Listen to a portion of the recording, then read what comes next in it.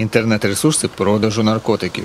Останнім часом наше місто просто переповнило цими написами на зупинках та будівлях, через що обурена білоцерківська молодь звернулась до управління з питань молоді та спорту, щоб провести акцію Молодь проти зловживання наркотиками та їхнім незаконним обігом, зафарбувавши шкідливе посилання.